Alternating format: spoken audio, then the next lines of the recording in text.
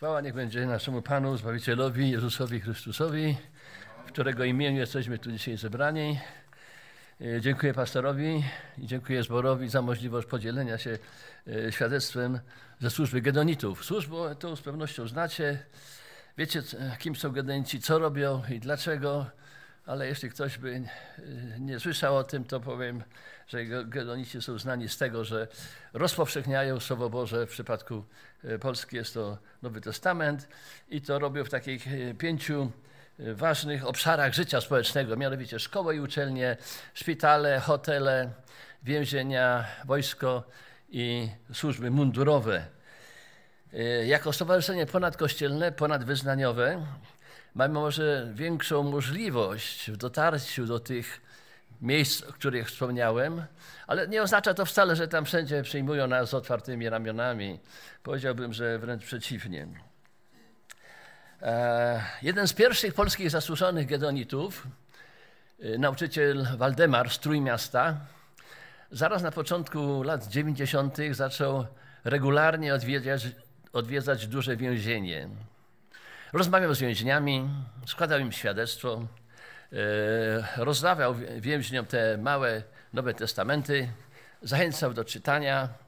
Wie, wiecie, jak wyglądają małe Nowe Testamenty gedonickie na pewno. E, zachęcał do przyjęcia Chrystusa jako swojego Zbawiciela. Z czasem w tym więzieniu otwarto oddział chorych na AIDS. I władze więzienne miały wielki problem z obsadzeniem kadrą wychowawczą ta, tego oddziału. Może pamiętamy, ale w tamtych czasach nosiciele wirusa HIV byli bardzo separowani społecznie, a społeczeństwo panicznie unikało wszelkiego kontaktu z nimi. Stąd problemy, bo nikt nie, nie chciał chodzić tam do tych więźniów zarażonych wirusem HIV. I zaproponowano naszemu, naszemu Gedonicie Waldemarowi, żeby on tam miał takie spotkania biblijne z tymi więźniami chorymi na AIDS na tym oddziale e, w ramach ich resocjalizacji. I po modlitwie Waldemar zgodził się na to. I początkowo jego wierna, wytrwała służba nie przynosiła żadnych rezultatów aż do pewnego dnia. Otóż kiedyś odwiedzał po raz kolejny to więzienie razem z drugim Gedeonitą i zostali przez tego wspomnianego wychowawcę, który, może nie mówiłem o nim na, wcześniej, był taki jeden z wychowawców, który im skutecznie y, zniechęcał życie i, i, i zniechęcał ich do tej służby. I ten właśnie wychowawca zaprosił ich do swojego gabinetu. I kiedy y, otwarli drzwi, zobaczyli bogato zastawiony stół i zapytali, jakiej okazji to zawdzięczają. I wówczas wychowawca z uśmiechem na ustach powiedział, bo ja też już jestem dzieckiem Bożym. Na policzkach pojawiły się Gedonitu łzy, szczęścia, radości, wdzięczności i od tego momentu służba Waldemara zaczęła nabierać e, zupełnie innego wymiaru. Wielu więźniów odzyskała na nowo nadzieję. E, byli tacy, którzy się narodzili na nowo. I powiem, że ta historia, to świadectwo ma swój ciąg dalszy, który miał miejsce po kilku, czy nawet kilkunastu latach, już nie wiem, nie jestem pewny, ale Waldemar mi to odpowiadał. Yy, mianowicie miał ten Gedonita, Waldemar, miał prezentację służby gedonickiej, taką jak ja mam w tej chwili u was, w zborze zielonoświątkowym yy, w Gdańsku. I po prezentacji, po nabożeństwie podeszła do niego starsza niewiasta i wyciągnęła rękę z zaciśniętą dłonią. I kiedy ją otwarła, Waldemar zobaczył pomięte 100 złotych. I zapytał, co to jest? Zapytał, jaką masz rentę, siostro? Ona powiedziała, że ma najniższą. Ale powiedziała, że chce te pieniądze podarować na druk Pisma Świętego i kontynuowała dalej tą, tą historię swoją. Mój syn był na tym oddziale chorych na AIDS o którym opowiadałeś, że tam mieliście spotkania, że rozprowadzaliście Nowe Testamenty, był tak chory, że musiał leżeć w, w szpitalu więziennym. I dzięki temu, że słyszał Ewangelię na spotkaniach, że otrzymał Nowy Testament i czytał go, mój syn narodził się na nowo, otworzył swoje serce dla Pana Jezusa Chrystusa. I kiedy odwiedzałem go po raz ostatni, powiedział do mnie: Mamo, ja wiem, że umieram ale ty się nie martw o mnie. Ja wiem, dokąd idę. Ja należę do Pana Jezusa Chrystusa. Świadectwo, które było wielką zachętą do tego, aby kontynuować i tą służbę, i wszelkie inne y, tego rodzaju. Raz w roku odbywa się w Stanach Zjednoczonych, zwykle w jednym z większych miast amerykańskich, konwencja Międzynarodowego Stowarzyszenia Gedonitów. Trwa to przez tydzień. E, niesamowite wydarzenie. Przyjeżdżają Gedonici z, no, z większości krajów, gdzie ta służba funkcjonuje. Zwykle około 100 krajów jest reprezentowanych na tej konwencji. 3, e, 3,5 tysiąca ludzi się zgromadza, delegatów z różnych stron świata. I jest to niesamowite, kiedy słyszy się świadectwa, raporty, yy, sprawozdania z różnych części świata, w jaki sposób Bóg używa tej służby. Ale nie o tym chciałem mówić.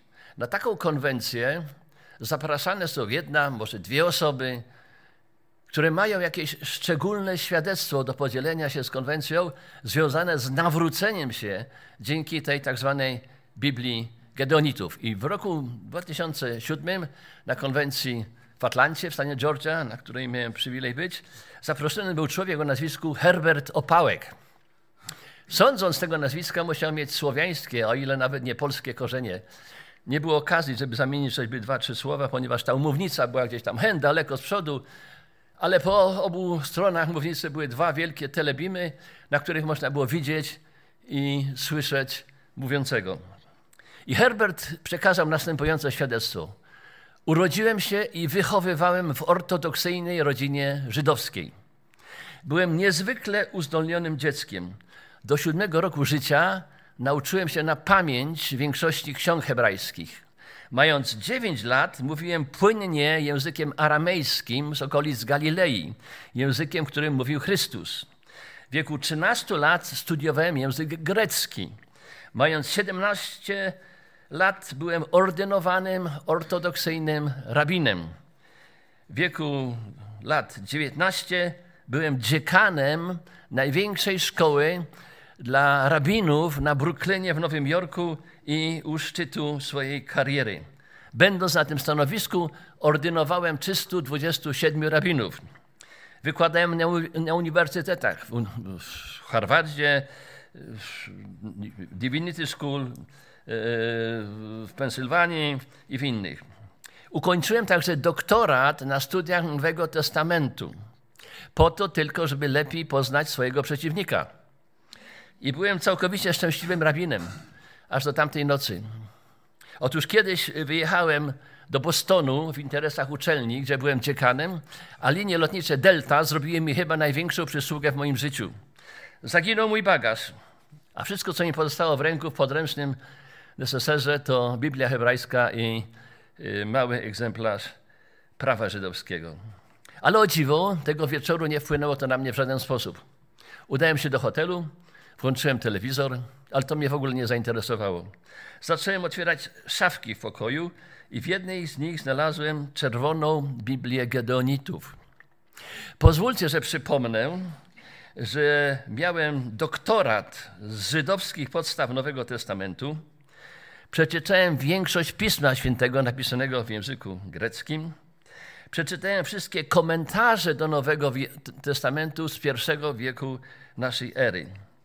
Tak więc byłem pewien, że znałem wszystkie odpowiedzi, wstecz czy naprzód, ale nie wierzyłem ani jednemu słowu tej księgi, aż do tamtej nocy, kiedy otwarła się sama na czytanie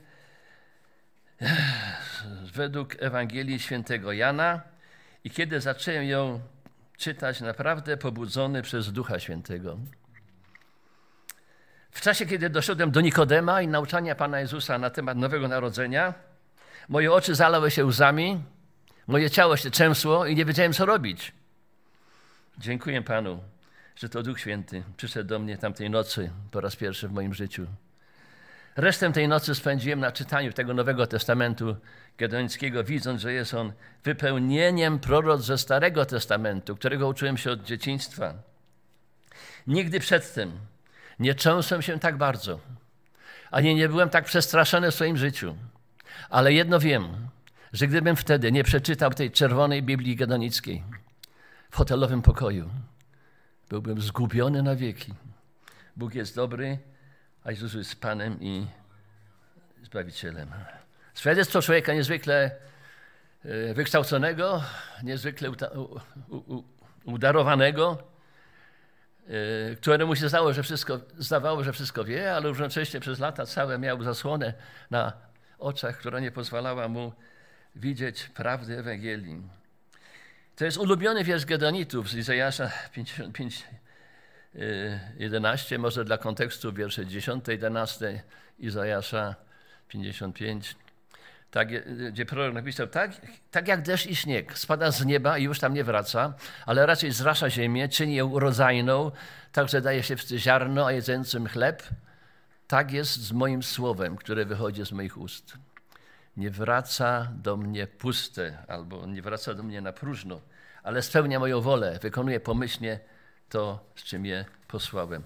Słowo Boże nie wróciło puste. Sankt Petersburg jest wielkim miastem, ponad czteromilionowym miastem w Rosji, położonym e, u ujścia Newy nad Zatoką Fińską. I tam, kiedy oni ci na jednym z e, kampusów uniwersyteckich mieli dystrybucję tych małych testamentów, wziął to też jeden student, e, ale nie z zamiarem czytania. A, a, widocznie był ateistą. Nie wnikamy. Kiedy wrócił do domu, a mieszkał w dużym wieżowcu właśnie na brzegu tej rzeki Newy, otworzył okno swojego mieszkania i zaczął niszczyć ten mały Nowy Testament, wydzierać kartki i rzucać za okno. Był wieczny dzień. Jedna z tych karteczek poszybowała w stronę pobliskiego mostu. Na moście stała dziewczyna, która przyszła tam z zamiarem popełnienia samobójstwa. I w tym właśnie momencie karteczka z mocą Bożego Słowa, fragment Ewangeliana, przykleiła się jej do twarzy. Oszołomiona zdjęła tę karteczkę i zaczęła czytać. I wiecie, te kilka zdań, te kilka słów, które przeczytała, wystarczyło, aby ona otworzyła swoje serce dla Chrystusa. Bóg uratował ją od śmierci, od podwójnej śmierci, od tej fizycznej i od tej, od tej wiecznej śmierci. Bo Słowo Boże jest żywe i skuteczne, ostrzejsze niż wszelki miecz owosieczny, przenikające do rozdzielenia duszy i ducha, stawów i szpiku, zdolne osądzić zamiary i myśli serca. To słowo osądziło tą młodą niewiastę, tak jak kiedyś mnie osądziło i zrozumiałem, że moje życie nie może podobać się Bogu i że zbawienie jest tylko w jednym imieniu, cudownym imieniu Jezus. W samym sercu kolumbijskiej dżungli znajdowało się laboratorium i fabryka narkotyków. Było tam mnóstwo chemikali, mnóstwo broni i znajdowało się i pracowało kilkudziesięciu bardzo niebezpiecznych ludzi, mafiosów narkotykowych. Było to niezwykłe laboratorium, a jego niezwykłość polegała na tym, że znajdował się tam egzemplarz Nowego Testamentu, gedoński egzemplarz Nowego Testamentu. I była to tak popularna lektura, że dochodziła do, dochodziło do kłótni, kto mają czytać pierwszy. W końcu, żeby uniknąć bujek, zaczęto rzucać losy, które miały decydować o kolejności czytania. Tego laboratorium już nie ma, y, ale jest 40 nawróconych mężczyzn, mafiosów, z których 12 zostało pastorami. To coś niezwykłego, ale Bóg potrafi skruszyć zatwardziałość największego, naj, najbardziej zatwardziałego serca, kamiennego serca. W Jeremiasza 23-29 y, prorok napisał, mówiąc o Bogu, czyż moje słowo nie jest jak ogień i jak młot, który kruszy skałę? To, ta skała, ten, ten, ten, ten kamienne serce tych ludzi zostało skruszone, y, bo Słowo Boże jest, jest większe niż, niż wszelkie prze, przeciwności i przeszkody. Pewien górnik który mieszkał blisko kopalni, wrócił do domu po pracy i zobaczył, że jego nastoletnia córka znowu siedzi i ma otwarty i czyta ten mały Nowy Testament. A on jej tego zabronił. Podszedł do niej i powiedział: Oddaj mi to. Wziął z jej ręki tą książeczkę i włożył do kieszeni swojego ubrania roboczego. Na drugi dzień w tej niewielkiej osadzie górniczej zawyły syreny.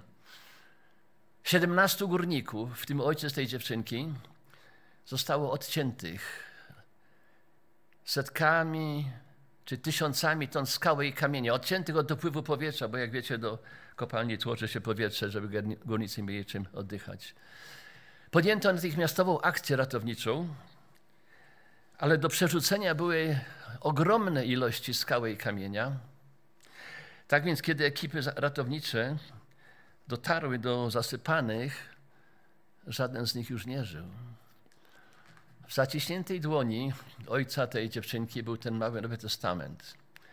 I kiedy ktoś go otworzył i spojrzał na ostatnią stronę, nie wiem czy wiecie, ale to taka dygresja mała, dla tych, którzy nie wiedzą, a, a dla tych, którzy wiedzą, to, to wiecie, co tu jest. Na samym końcu tego małego Nowego Testamentu to jest wspaniałe narzędzie ewangelizacyjne, które Amerykanie używają. Każdy geodonita używa tego na co dzień, bo, bo, bo, bo, bo to działa. Tam są wiersze, wersety pogrupowane w takie kategorie. Bóg Cię kocha i cytaty. Wszyscy są grzesznikami, cytaty. Boża rada dla grzeszników, znowu wiersze. Teraz każdy może być zbawiony i znowu cytaty. A na końcu jest modlitwa, y, jeśli ktoś coś przeżył, a nie wie w jaki sposób to wyrazić, jak przyjąć Chrystusa, jest, żeby takiemu człowiekowi, który coś przeżył, chciałby się nawrócić, pomóc, jest, jest krótka modlitwa. A pod tą modlitwą jest miejsce, na podpis i na datę, w tym, że w tym a tym dniu przyjąłem Jezusa Chrystusa. I wracając do naszej historii, y, tam y, ktoś spojrzał w tym miejscu na podpis, znajdował się podpis ojca tej dziewczynki.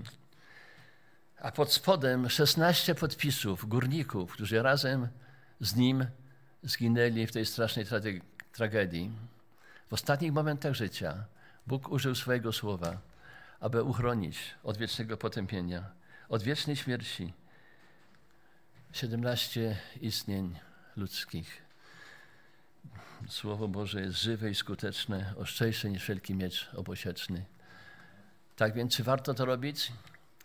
W 126 psalmie, w szóstym wierszu czytamy, że kto wychodzi z płaczem, niosąc ziarno siewne, będzie wracał z radością, niosąc, niosąc snopy swoje. E, jeśli e, zastanawiacie się, w jaki sposób moglibyście pomóc, żeby Ewangelia e, dotarła do jeszcze większej liczby ludzi zgubionych, potrzebujących poznania prawdy, to chcę powiedzieć, że potrzebujemy Waszych modlitw.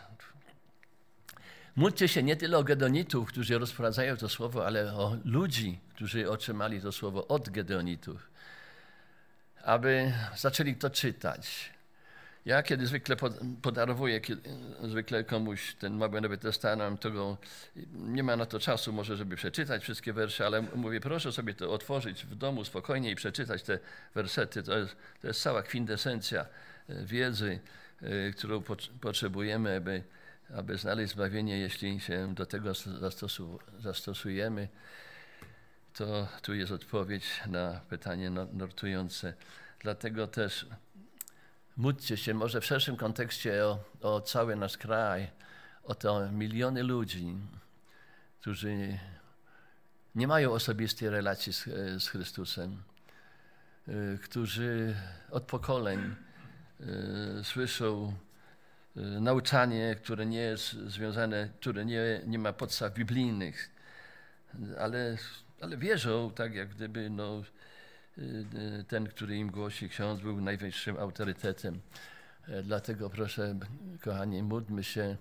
Pan Jezus powiedział do, y, do uczniów, którzy go otaczali, jeśli wytrwacie sobie moim, prawdziwie uczniami moimi będziecie i poznacie prawdę, a prawda was wyswobodzi, wyzwoli. Miliony ludzi w naszym kraju potrzebuje wyzwolenia od fałszywych nawyk, od wszelkiego rodzaju przeteczeństwa duchowego. Po drugie, aha, jeszcze wracając do tych, tej modlitwy, y, wiemy, że w naszym kraju to, to istnieje powszechna niechęć do czytania Biblii. To jest absolutnie powszechne. Nie, nie skłamię, jeśli powiem, że w, każdym, y, w każdej katolickiej rodzinie, w każdym katolickim domu jest gdzieś ta Biblia, leży na półce, pokrywa się kurzem, nie jest dotykana w ogóle. No, co musiałoby się stać, żeby taki nasz Kowalski, przeciętny człowiek, zaczął nagle czytać Słowo Boże? No musiałby się stać cud. A tym cudem byłoby wypełnienie się proroctwa Amosa 8, 11, 8 rozdział, 11 wiersz. E, proroctwo było skierowane do Izraela, do, do, były inne uwarunkowania, inna sytuacja, ale czyż Bóg nie może wypełnić go w naszych czasach? Oczywiście, że może. Bóg jest wszechmocny. Prorok napisał takie słowa. Oto idą dni, mówi wszechmocny Pan, że ześle głód na ziemię.